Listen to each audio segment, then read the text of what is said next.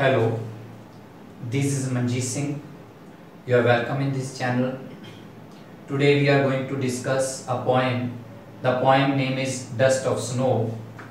This poem has been written by Rob Frost. Rob Frost was an American poet and uh, this video will be in Hindi language.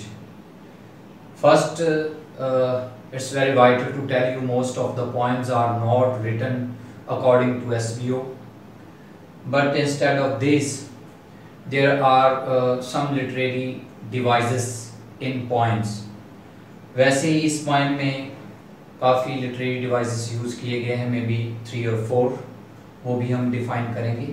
पहले अगर discuss करें dust of snow dust का मतलब हो गया particles of snow अगर हम इसे एज वर्ब लेके चले तो डस्ट का मतलब हो गया स्नो का झड़ना।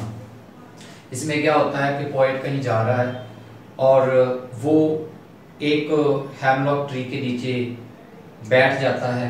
हैमलॉक ट्री एक पॉइजनस ट्री होता है, जिसके वाइट कलर्स के फ्लावर्स होते हैं और उसकी ब्रांचेस जो हैं वो बहुत ज़्यादा सॉफ्ट होती हैं। उस ट्री के ऊपर एक ब्रांच के ऊपर एक क्रो बैठा है।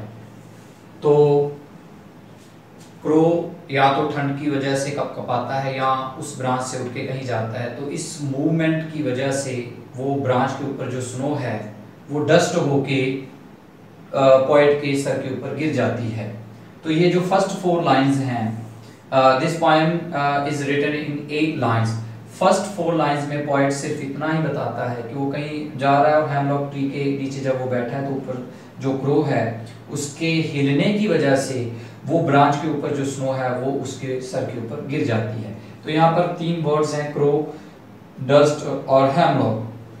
क्रो जो ब्लैक कलर का होता है और black colour is the symbol of death. उसी तरह डस्ट अगर डस्ट की हम बात करें तो डस्ट का मतलब होता है रहन खूंद अगर इसे हम एज ए नाउन लेके चले तो ये भी एक सिंबल हो गया डेथ का।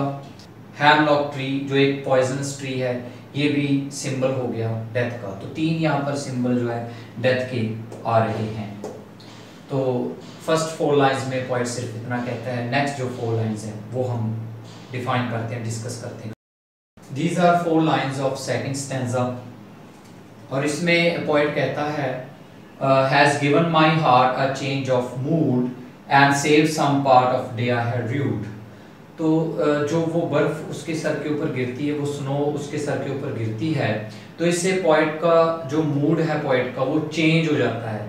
पहले वो उदास है आ, लेकिन अब उसका मूड जो चेंज हो गया हैज़ गिवन माय हार्ट इसने मेरे हार्ट के मूड को चेंज कर दिया। किसने चेंज किया? वो डस्ट ऑफ़ स्नो ने चेंज किया। पार्टिकल्स ऑफ़ स्नो वो जो डस्ट है उसने चेंज किया। And saved some part some part का मतलब हो गया कि सुबह से लेके जब वो आ, ट्री के नीचे बैठा है सुबह से लेके ट्री के नीचे बैठने तक का जो टाइम है ये जो टाइम है उसका ये तो पूरा सैडनेस में गुजरा। लेकिन उससे जो नेक्स्ट वाला टाइम है जो नाइट तक का, जो इवनिंग तक का जो टाइम है, उसे यहाँ पर सम पार्ट कहा कि उस डे का जो कुछ हिस्सा बचा है and saved some part of day I had rued और जिस पूरे दिन में मैं पछतावा करता रहा, उस डे का जो थोड़ा पार्ट बचा है, उसे सेव कर दिया। किसने? उस स्नो ने। जब वो स्नो ये पॉइंट के सर के ऊपर गिरती है तो एक नई उमंग उसमें आ जाती है वो ज़्यादा दुखी नहीं रहता। अब हम बात करते हैं लिटरेरी डिवाइसेस की, जो इस पॉइंट में यूज़ हुए हैं। The way a crow shook down on me the dust of snow from a hemlock tree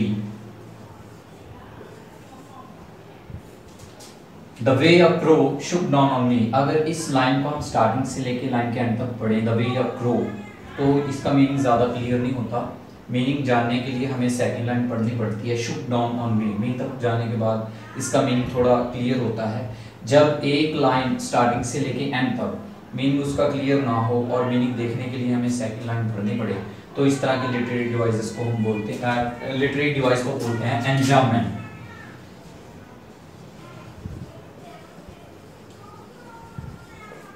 and A crow shook down on me, the dust of snow from a hemlock tree. अगर हम literary device की इसमें बात करें तो second rhyme scheme की अगर बात करें द वे क्रो तो क्रो जो लास्ट वर्ड है, इसको हम लेटर ए देंगे शुभ डाउन ऑन मी मी और क्रो ये दोनों राइम नहीं कर रहे आपस में तो इसलिए हम इसे अलग लेटर देंगे B the dust of snow अब क्रो और स्नो ये दोनों राइम कर रहे हैं तो सेम लेटर हो जाएगा A from a hemlock tree tree और मी ये दोनों राइम कर रहे हैं तो इसको हम लेटर सेम दे देंगे बी तो फ़र्स्ट टेंजा की जो राइम स्कीम है, वो है ए बी ए बी इसके अलावा अगर हम और लिटरेरी डिवाइस की बात करें तो इसमें shook shook down on me vowel sound जो है, वो बार बार रिपीट हो रहा है। एक लाइन में अगर वोवल साउंड रिपीट हो रिपीटेशन हो तो उसे हम बोलते हैं उस लिटरेरी डिवाइस को एजोनेंस एजोनेंस सेकंड स्टैंजा की अगर हम बात करें has given my heart a change of mood and saved some part of a day I had rued has given my heart तो सेम वही enjambment a change of mood heart ऊपर किसी भी वर्ड के साथ राइम नहीं कर रहा तो इसे अलग लेटर देंगे C a change of mood mood heart heart और मूड ये दोनों राइम नहीं कर रहे तो इसको अलग लेटर देंगे D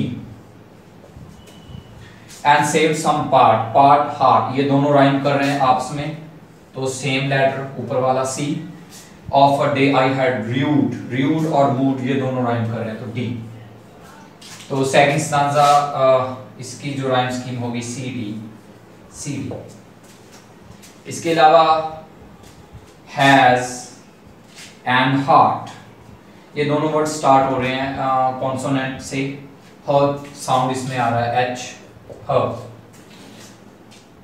और यहाँ पर सेवंथ लाइन में स सेव एंड सम स साउंड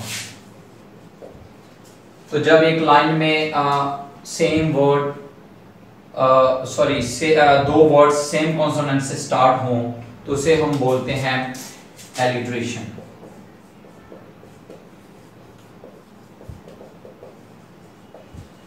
इसमें एक और लिटरेरी डिवाइस यूज़ किया गया है जिसे हम बोलेंगे कॉन्सोनेंस कॉन्सोनेंस इसके अकॉर्डिंग जो कॉन्सोनेंट वर्ड है सॉरी जो कॉन्सोनेंट लेटर है वो बार बार यूज़ होता है लाइन में. ये मैटर uh, नहीं करता कि वो वर्ड के स्टार्टिंग में हो या एंड में या मिडल में हो. अगर बार बार कॉन्सोनेंट लेटर यूज़ किया जाए एक लाइन में तो उसे उस लिटरेरी डिवाइस को हम बोलते हैं कॉन्सोनेंस तो इसमें जो लिटरेरी डिवाइस यूज़ हुए हैं जमेंट